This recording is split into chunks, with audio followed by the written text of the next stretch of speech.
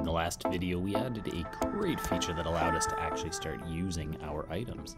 However, they don't disappear, and so we could heal each other forever with just one item. That's definitely not going to work, so in this video, we're going to set things up so that when you use an item, it actually disappears. Let's get started. So this time around, pretty much all the magic will be happening in your item slot script. You can scroll right on down to our on left click function.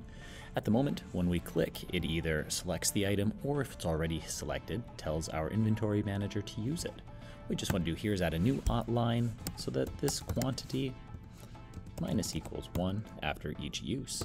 At that point, we just want to do a check to see if this quantity and I'm using this because I'm trying to distinguish from the fact that we also have a quantity being sent in sometimes. So this just refers to the quantity on the actual slot. Now if this quantity becomes less than or equal to zero, what we want to do now is we want to call a new function called empty slot.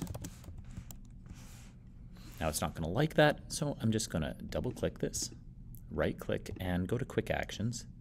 And at this point we can actually just generate the method and it'll pop it down here.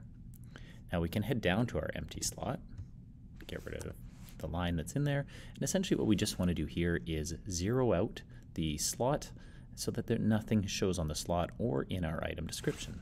To do this, we just want to first of all get our quantity text, and we're just going to turn it off. Enabled equals false. We're also going to get our item image dot sprite, and we're going to set that equal to our empty sprite. That will empty out the slot. Now we just have to empty out our descriptions as well. For this, I'm going to cheat by coming up here and just copying our description lines. And we want our item description name text to be equal to nothing. We want to do the same thing for our description. And finally, for our item sprite, we just want it to be the empty sprite once again.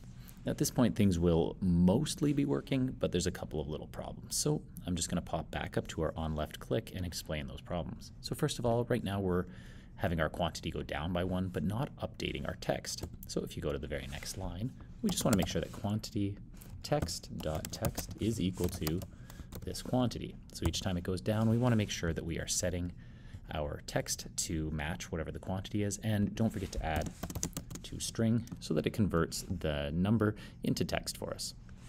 Now the one other problem at the moment is that here we're resetting all of our data to zero, but then down lower in this method, we're setting it back to other values all over again, and that's definitely not the way we want this to go. So down here we're just going to add an else statement and some brackets to encapsulate all of those commands. That'll just make it so that if the item's selected and we're subtracting things, it does the subtraction. Otherwise, if the item is not yet selected, we do the selection and have it show up in our item description. All right, at this point now when you get your inventory, you can click to select the item, click again to use it, and you'll notice it goes down each time. And when we get to zero, the item disappears, as does our description. All right, that's working pretty nicely. At this point, we're just gonna pop back into our item slot one last time because what happens if your health is full? We don't want us to be able to waste items trying to heal someone who's already full. So we're just going to add a check here to see if the item is actually in a usable state or not. To do this, we'll just head into our this item selected where we actually use the item. Now here, rather than just automatically using the item at this point, I'm going to create a bool called usable, which is going to be equal to inventory manager use item. And essentially what we're going to do is just follow this through and do a check to see whether or not you need to use the item. And if not, we'll disable it. So I'm just going to click on use item and go to that declaration. That'll take me right into my inventory manager where the use item method is. We're just going to make this into a bool now as it's going to return a true or false statement. And down here, we're also going to add the bool usable is equal to item so use item. So again, when we use the item, it'll check to see if it's needed and return that value. Now down here, I'm just going to return usable. So once we have found out whether or not it's usable, we'll send that information back. And if for some reason this for statement is unable to find any items that match, we also want to make usable be false. And so in that case, we would add a return line here that would just be false. All right, now we just need to go one step further. So let's click on this one and go to declaration.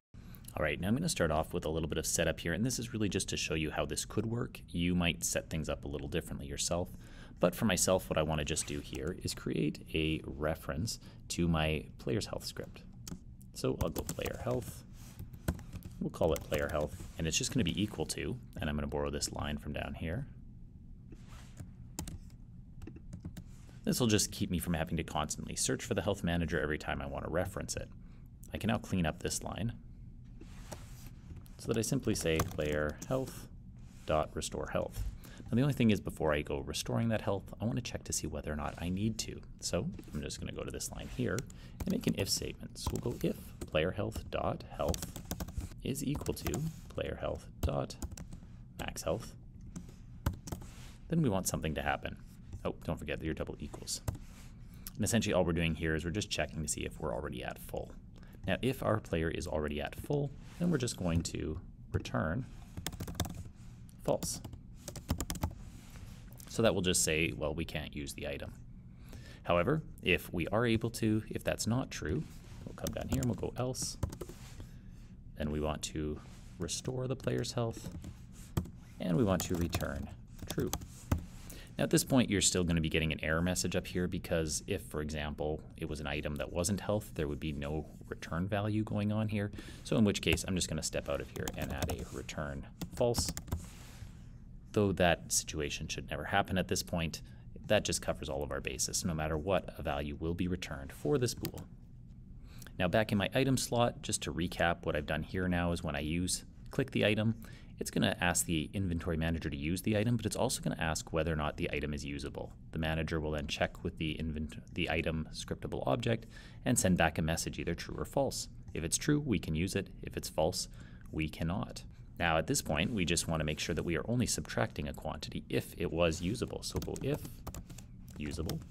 You could say equals true, but I always prefer to do less work if I don't have to, so we'll just say if usable. I'll put my brackets, and at this point, we want to do the rest of this function. There we go. So if the item was indeed usable, we'll subtract one, update the text, and then empty out the slot if needed. Getting back into Unity, I'm noticing that I am getting an error message from my inventory manager, so I'll just double click that to follow.